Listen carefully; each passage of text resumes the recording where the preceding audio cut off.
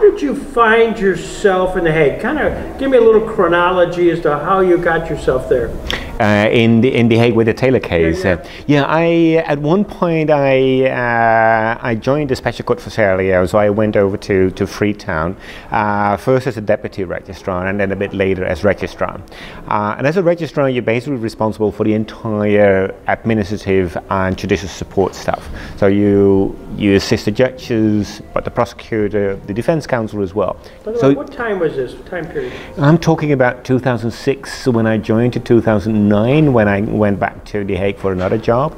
Uh, and so when I joined the special court, just two or three months before that, Charles Taylor got arrested um, and was brought over to The Hague because the trial was not, for security reasons, wasn't able to be held in, in Freetown, which of course is a pity, but it was really security reasons dictated that. So brought over to The Hague, um, and as registrar you're responsible for the entire support. So what you also are responsible for is the detention for any accused persons.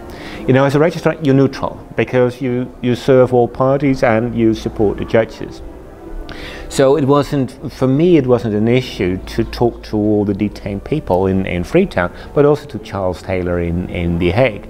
Um, and I was responsible for making sure that the detention was up to the international standards by which those tribunals work. Uh, and I always call that tea with Taylor, you know. So what happened was uh, court proceedings were always going on from Monday to Thursday and a bit on Friday morning. And Friday afternoon, there were no hearings. So whenever I was in The Hague, I spent most of my time in Freetown, but part of it in The Hague. Whenever I was in The Hague, I thought, you know what? I'll go, go over and see how the detention issues are, hear whether there are any issues with him. Um, and of course, he, he always had issues to raise. Um, but of course, there are also very strict rules. But I just wanted to make sure, uh, because that is was my responsibility. I want to make sure that the guy was in good shape, and if there was anything, that I was aware of it. Um, of course, I heard it from the staff who were supervising him 24 and 7. But I also wanted to do that just with my own eyes and ears. Um, and we had very cordial discussions. He always made some tea for me, and you know, we had some discussions in his tiny little cell. Um, discuss all kind of things, uh, but of course also detention issues, complaining about the food, and of course Dutch food he didn't like, which I understand, being Dutch. But you know, it's it was an, a strange experience but I thought it was really necessary to make sure that for him, as any other detained person, he's entitled to the principles that apply to, uh, you know, people who are considered innocent uh, until proven guilty. Um, that was during the entire trial.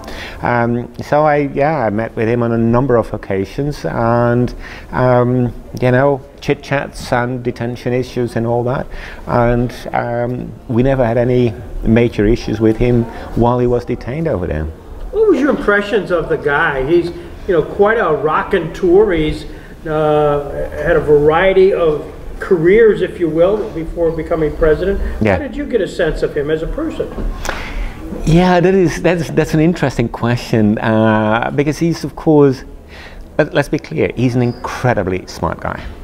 Um, also very charming. Uh, you know, he's of course that's how people like that get in those kind of positions. Uh, yeah, of course, he's been convicted for very serious crimes uh, that were committed in, in Sierra Leone. Uh, and, uh, but at the same time, you know, uh, charisma goes with those characters often. Uh, otherwise, they don't get elected as presidents or as major leaders in a particular country. Um, so it, it is amazing to see um, there's a human being next to the accusations and the conviction later on, uh, and it's it's sometimes difficult to to bring them together. Uh, but yeah, very charismatic, uh, incredibly smart, and all these kind of things. But hey, he was a detainee, and um, the rules applied to him equally as to other any other detainees over there. Uh, but it was it was an interesting it was an interesting discussions. Yes, definitely. Well, I uh, harken back to the Nuremberg trial and Yeah. Hermann Goering, Yeah. who was incredibly charismatic, and he really worked the guards. Yeah. He really was wonderfully engaged with him. So they actually did some more favors probably for him than anybody else. Yeah. Did you find that? Have you? Did you find that the case where Taylor was trying to work the system? He may have tried it, but it didn't work because you know we had one cell for him, um, and we rented the facilities from the International Criminal Court, um, and so there were other detainees in this uh, in the same complex. Uh, from other parts of, of the world of accused persons who were tried by the International Criminal Court. And in detention, the, always you have to do is don't make any distinction between any of the accused persons. The moment you give a favor to one, you have to give it to everyone else. There, you cannot make a distinction. And also, in that respect, also, no, he didn't get anything else that he may have wanted, but he didn't stand out towards the others. The others didn't stand out towards him. Very same rules, very same conditions. He may have liked them, he may not have liked them, uh, but that's the reality that that he was facing as, as a detained person and as an accused person uh, in trial over there. Uh, he may have had his questions, of course, um, or was trying to push it a bit, but you know, the rules are there for everyone. So you became registrar a few months before he actually was arrested. A few months after he was arrested. Yeah, yeah, yeah, yeah, yeah. So your paths would have crossed with Desmond.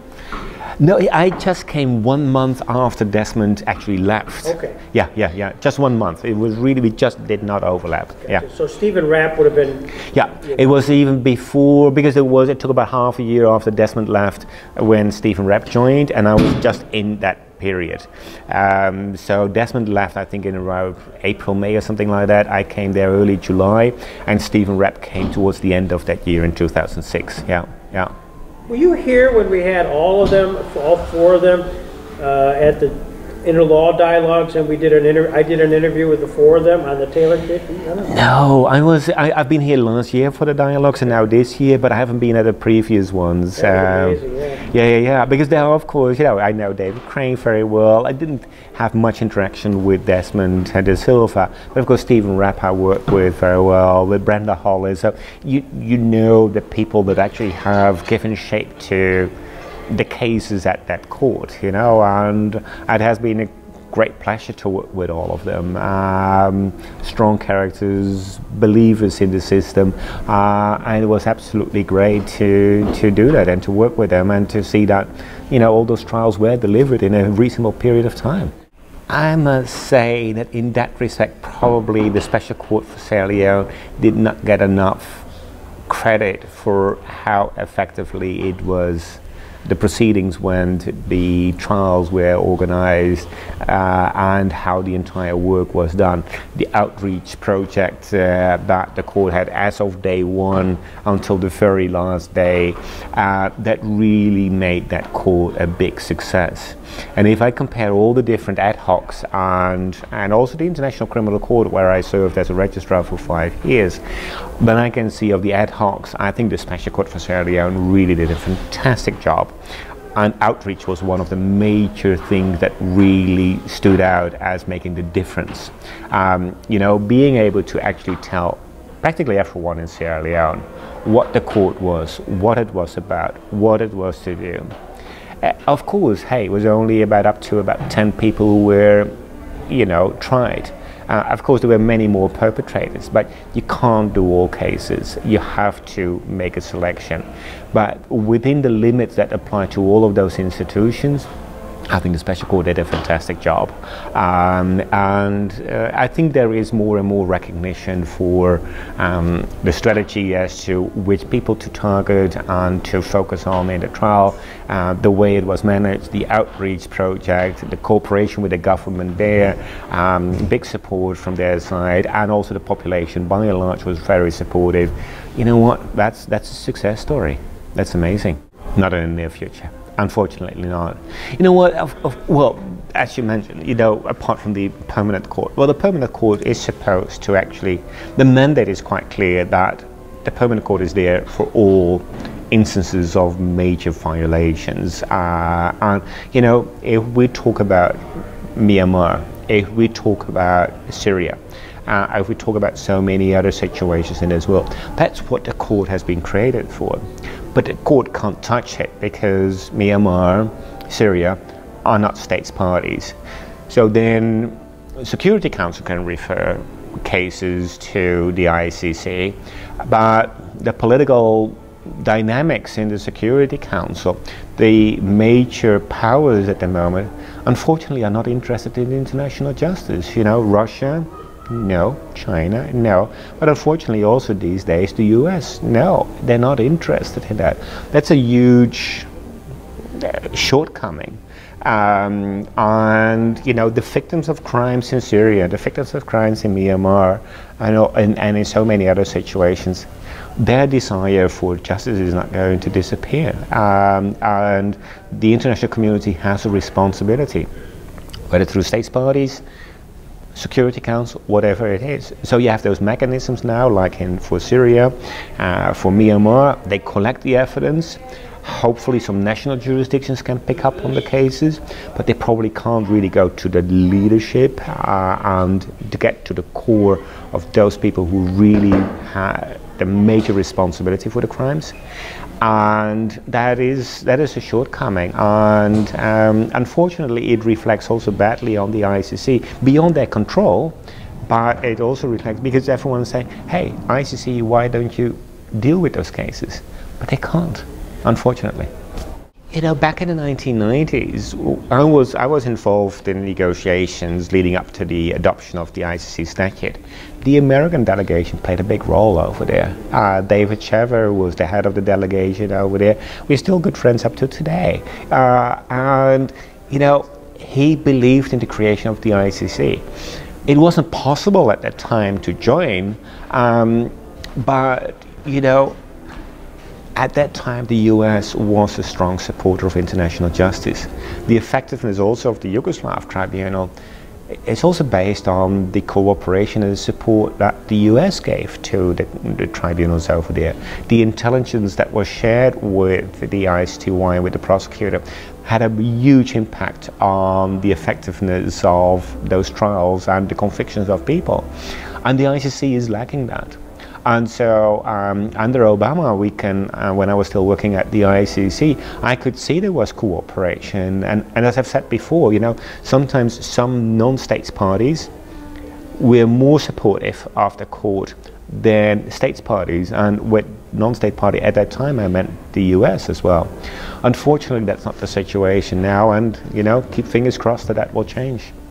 So you're part of the show here. I am part of the show, yeah. What, what, just give us a sneak preview. I think I'm going to talk a bit about what you're asking me now. It's, it's about sort of, you know, okay, what happened, why, did the, why was the ICC created in the late 90s? What were the preconditions that made it happen at that time? Um, you know, basically the, the bottom line is if there was no ICC today, and we wanted to discuss the creation of an international criminal court statute, the political situation at the moment would not allow for that to happen. The preconditions of an element of trust between major powers, etc., is not there. So today we would not have an ICC. So we do have an ICC. It has its own internal shortcomings, that's for sure, but also it has to work in an incredibly difficult political environment. Um, and I think it needs the help of anyone who is able to help to survive under those circumstances and to be as effective as it can. But it's a tough mandate. So Fatou's term is coming up soon. Yeah. Uh, what's the procedure to re, uh, for, for a replacement? They have, I don't know the exact details, but what they have decided is there's a, a, group of ambassadors and a group of external experts who are going to do a sort of a, you know, a scooping, a sort of assessment of potential candidates that may become a prosecutor. Uh, what I think is incredibly important here is that the election of the prosecutor shouldn't be a horse trading diplomatic event, but should be an election of the best candidate for that job. Because terribly difficult job. Um, the pressure is enormous, the challenges are there, and you really need to have someone who can stand up to the political pressure and can get the investigations and the prosecutions organized well. Um, and you know, so far the ICC has not shown the best track record compared to other international courts. Um, the new prosecutor uh, hopefully will be able under those difficult circumstances, but will be able to deliver the best. Because in the end, it's the quality of the investigations that determine the future of the outcome of those cases there. And that is, hasn't always been optimal at the, at the ICC, to put it in diplomatic terms. You're terrific. Thank you. This is fun. Thank you for coming. yeah, no problem at all, Greg. Yeah, great.